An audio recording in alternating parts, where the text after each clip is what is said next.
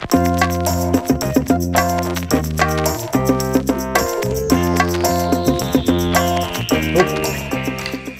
guys, uh, it's Tuesday once again. Seems to happen every week these days. Those weeks just keep rolling by. I don't know if I've mentioned I'm from Canada.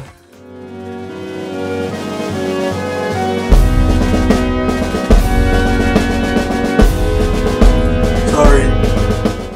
but uh, it is still Canada Day. So as such, I figure I'm just gonna do a really uh, quick and easy one from this side of things. I've got an interesting little thing that Mark Aird mentioned when we were hanging out last week, and he's talking about the kind of jazz hi-hat stuff, you know.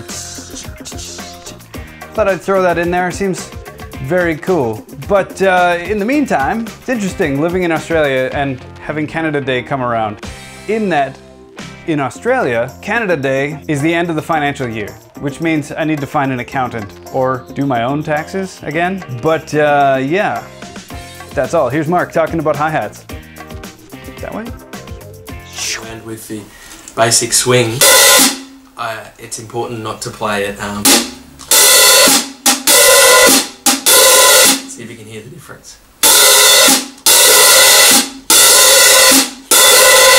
So, someone recently explained to me, um, a drummer friend, that the to have it closed only until the open note is not as traditional as um, opening it on the two.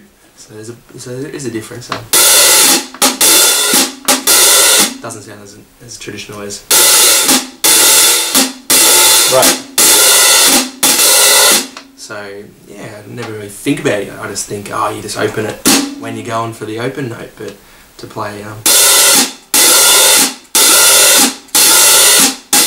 so you only really want it closed when it's the two and four. The rest of the time, as open as possible.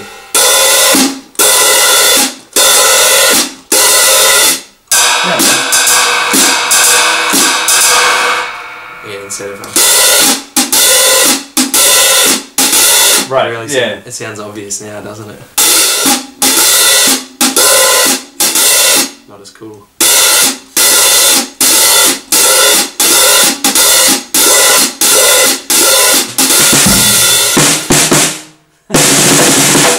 Play, play some swing with a floor tom snare. yeah. Big band.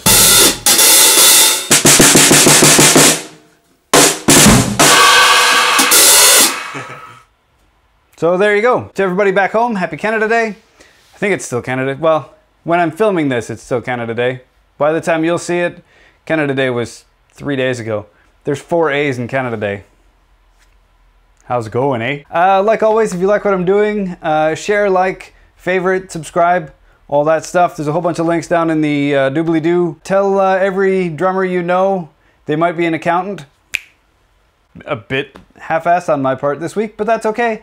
It's Canada Day, and uh, you know I didn't get any poutine, so I'll see you guys next week.